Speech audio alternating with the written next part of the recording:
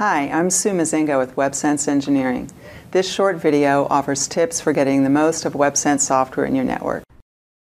Thanks, Sue, and I'm Kay Zimmer with WebSense Engineering. In this video, you'll find out how to use WebSense machine learning for optimal data loss prevention. Machine learning can help you classify and protect information based on examples that you provide to train the system on what's important. It complements and enhances other WebSense detection and classification methods, such as data fingerprinting and predefined policies. In general, machine learning requires two types of examples positive examples consisting of content that needs to be protected, and negative or counter examples. The negative examples are documents that are thematically related to the positive set, yet are not meant to be protected. For instance, they could be public patents versus drafts of patent applications, or non proprietary source code versus proprietary source code. However, since finding a proper set of negative examples may be hard to do, WebSense offers a unique solution through its All Documents option that allows learning from generic examples using the environment as a reference. Let's take a look at how to create a new classifier. In the Triton console, go to the Data Security tab.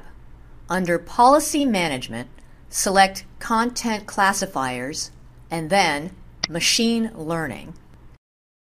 Click New to open the Machine Learning wizard. Enter a name for your classifier. It should be something meaningful that describes the data, such as engineering source code. Enter a description for the classifier if that's helpful, and click Next. On the Credentials page, select the crawler that you want to scan your examples. Typically, this would be the crawler closest to the root folder containing your data. Enter a username that has access to the root folder. This must be a user with administrative rights. Read permissions are not sufficient. Then, enter the password for this user. Entering the domain name of this user is optional.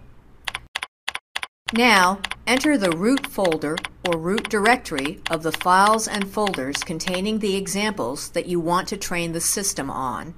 Your directory should have a folder with at least two different folders in it. One folder should hold your positive examples, such as the proprietary source code that you want to protect. The other folder should hold your negative examples, such as public source code.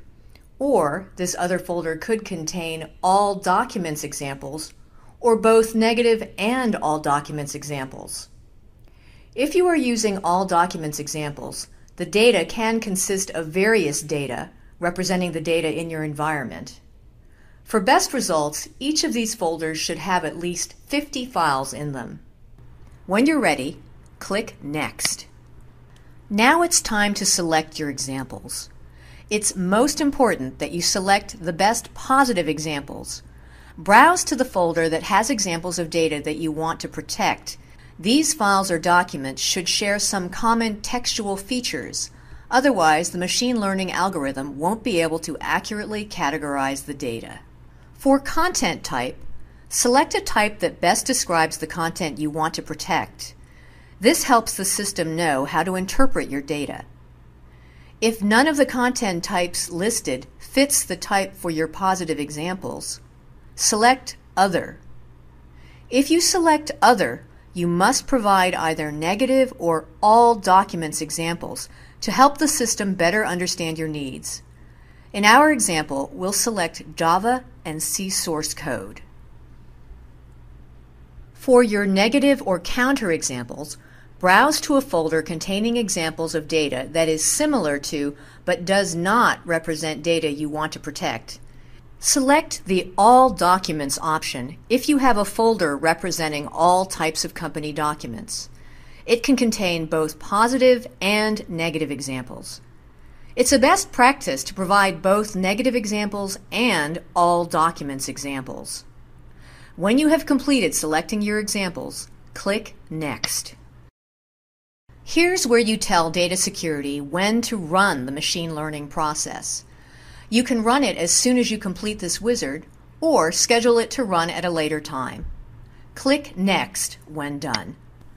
A summary of this machine learning classifier appears. Click Finish to create the new classifier.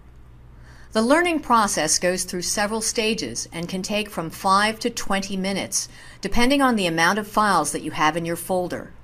The more files, the longer it takes. Back on the machine learning landing page, you can check progress. If the training for a classifier was successful, its status is completed, and the Ready for Use column is checked. You can now add this classifier to a rule in a policy. The classifier must be in a rule to provide protection against data loss. If your task finished running but it is not ready for use, your status shows as failed. To see details about a classifier that failed training, under More Actions, select Download Machine Learning Report. You may have to add more files to all folders before trying again.